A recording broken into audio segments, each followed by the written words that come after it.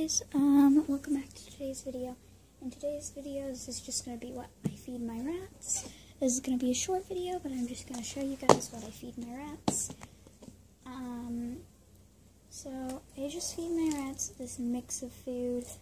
I have peanuts, these blocks, these little green ring things, peanuts, actually. Said peanuts, but like they're peanuts out of the shell. And then we have these little pellets and corn and some other various seeds. Oh no, I dropped some on the floor. Um, and then I put three of these on. These are little yogurt drops, and they love these. I don't give these to them every day, but most days I do. Um, but definitely not every day.